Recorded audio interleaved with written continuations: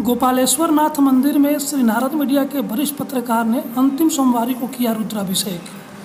सारण ज़िले के एकमा प्रखंड के खुट करवा मंदिर में जलालपुर के श्री नारद मीडिया के वरिष्ठ पत्रकार मनोज तिवारी ने सपरिवार रुद्राभिषेक किया। आचार्य अखिलेश्वर पांडे एवं सुमन पांडे ने महामृत्युंजय व रुद्राष्टाध्यायी का वैदिक मंत्रोच्चार से अभिषेक कराया। आचार्य श्री पांडे ने बताया कि इस मंदिर में रुद्राभिषेक कराने की 1400 वर्ष पुरानी परंपरा है, चूँकि यह मंदिर बहुत ही प्राचीन काल की है। पत्रकार मनोज तिवारी कहना है कि यह मंदिर एकमा से चार किलोमीटर पूर्व खुटकरवा गाँव के गोपालजी पांडे ने आज से 1400 वर्ष पहले निर्माण कराया था। बहुत ही विद्वान एवं खुटकरवा के राजा के नरेश थे। इनके विद्वता एवं साधना इतनी थी कि नहा करके अपना हाथ ऊपर करते थे तो सूखा हुआ धोती उनके हाथ में आ जाते थी तथा गीला धोती ऊपर चला जाता था।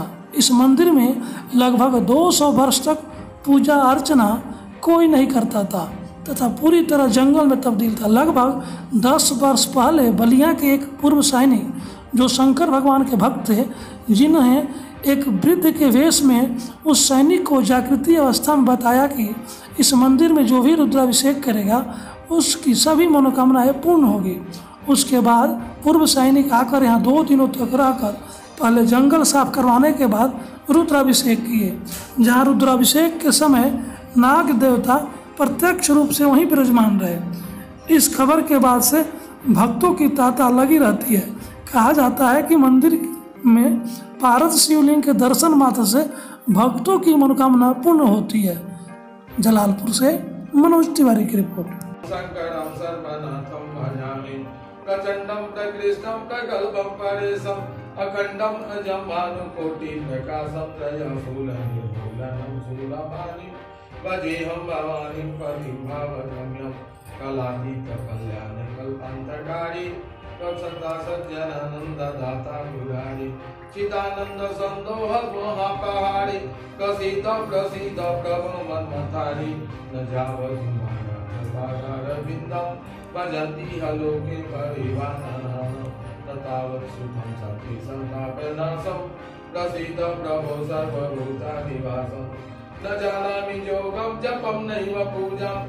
नतोऽहं सदा सर्वदा सम्भूतुभ्यं जराजनमधुकर्णपासव्यमानं प्रभो पाय्यापन्नममि सशम्भो प्रभो पाय्यापन्नममि सशम्भो रुद्राष्टकमिदं प्रोक्तम् विप्रेण हरदोषै ये पठन्ति नरा भक्त्या तेषां शम्भो प्रसीदति हरि ओं वैवंसो मगति पवनस्तनसो विदधाम प्रजावन्तः रुद्रभागः स्वः सहस्रा स्वस्वदा संविकया तं स्वाहा हरिसते Bye.